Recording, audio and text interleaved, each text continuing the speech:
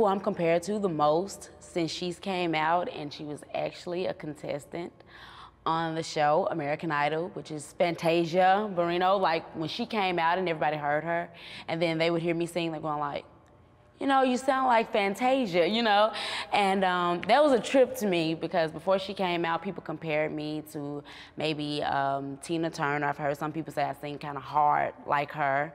Or um, even somebody as great as Gladys Knight. You know, I've heard so many different things, but to me, I just feel like I sound like myself, you know? like I have my own unique flair.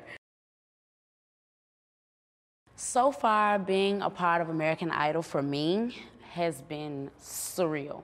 Like, it, it's believable, but it's not believable. I've been having to literally look in the mirror and go, are you kidding me? You know, you make the show. I mean, 36, you know, you're on the show. I'm just so elated from the time I've started in Kansas City up until Hollywood Week, up until knowing that I made the show has been unreal for me. But it's been the greatest time of my life.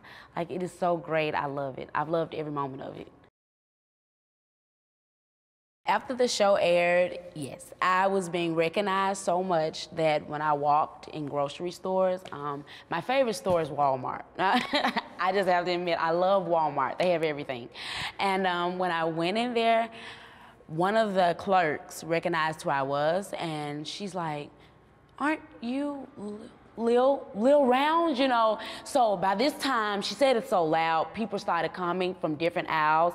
I mean, pulling out pen, paper. Can we have your autograph? I'm like, oh wow, you know, it was so, it was weird, but it was a good weird, you know, because I had never experienced anything like that before, but it was great.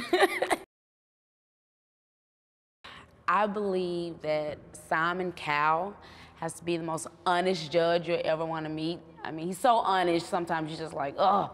But um, he told me during Hollywood Week, he said, um, I sung a song and he told me he wanted me to be more contemporary because I was a young artist and they were trying to see who I wanted to be and where was I was trying to go as an artist. So he wanted me to sing songs, you know, that kind of was more of who I'm trying to be or where I'm trying to go. So that stuck with me. So now I'm like, okay, I know, you know, where I kind of want to go. I know, you know, pretty much what I want to do, and I know I need to stay young because I'm just 24. So, you know, the songs I sing, he's right, should be more contemporary, you know, songs people can really feel more and understand where I'm coming from more.